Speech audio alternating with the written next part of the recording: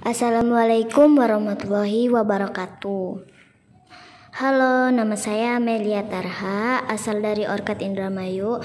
Menyambut anniversary Permau THK yang kedua, saya akan membawakan tari topeng kelana yang berasal dari Indramayu.